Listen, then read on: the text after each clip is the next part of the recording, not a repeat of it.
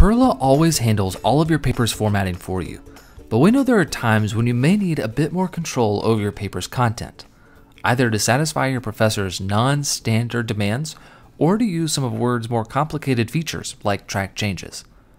That's why we've added the Advanced Edit mode into our PERRLA for Word add-in. We're going to look at what Advanced Edit mode does to your paper, why you may want to use it, and how to enable it for your paper. Advanced Edit Mode is a setting you can turn on for an individual paper that removes the protective content controls that are placed around citations and references in the body of your paper. PERRLA uses content controls to keep track of your references and citations and to ensure that the format specific parts of your paper can't be accidentally messed up. By removing the content controls, the references and citations are entered into your paper as plain text meaning you can edit them directly in your paper just like any other text. However, this means all of your references and citations in your paper will be disconnected from PERRLA.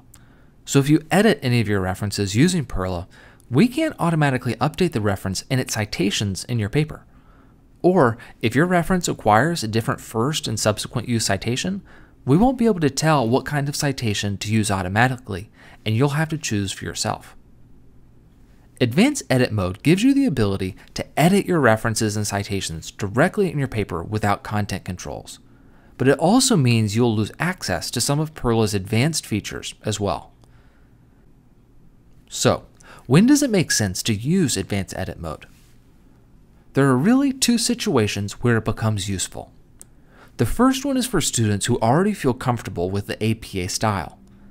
If you know your way around the basics of the APA format and find that you need to frequently customize the standard formatting that PERRLA provides, then Advanced Edit Mode may help streamline your process. The second situation is for students whose school or professor requires them to use track changes when submitting a paper. Both track changes and content controls are visual elements that are laid on top of your paper's text. In isolation, both of them work great, However, when used together, they can end up competing for the same visual space. This can cause problems for PERRLA and Word. So by using Advanced Edit Mode, you're taking the content controls out of the equation. Now that we know what Advanced Editing Mode is and why we may want to use it, let's see how to enable it for a paper. Before we turn it on, if we're using track changes, it's important that we go ahead and disable track changes and set the changes view to no markup. We can do both of these using the Review tab in Word. After we've enabled Advanced Editing Mode, we can come back here and turn track changes back on and show whatever level of markup we want. Okay, now we're ready. We can access the Advanced Edit Mode panel in two ways, either through the hamburger menu in any PERRLA panel or through the settings icon in the PERRLA ribbon tab. The Advanced Edit Mode screen will give us a condensed version of the information we've covered so far in this video, so we can click the Use Advanced Edit Mode button at the bottom. Now because Advanced Edit Mode cannot be reversed for a paper, PERRLA will ask us to confirm our choice. If we enable Advanced Edit Mode for a paper, it cannot be undone we'll have to start a new paper in order to get back to the standard way PERRLA works. But since we're sure, we can click again to use Advanced Edit Mode. Alright, at this point, PERRLA will look through our paper and remove any content controls around the references and citations that we may have already inserted. Moving forward, any references or citations that we create or add to our paper using PERRLA will be inserted as plain text and won't be connected to PERRLA with content controls.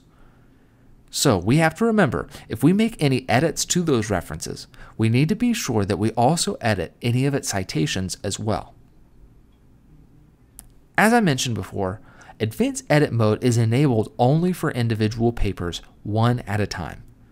So if we were to create another paper now, it will use PERRLA's default settings and will include content controls. If we need to use advanced editing mode in that paper, we'll need to be sure to turn it on in that paper as well. Alright, that pretty much covers it for this video.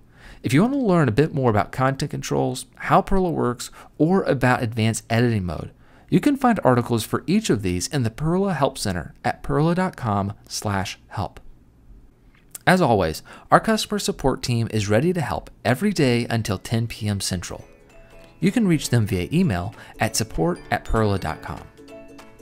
Thanks for watching and good writing.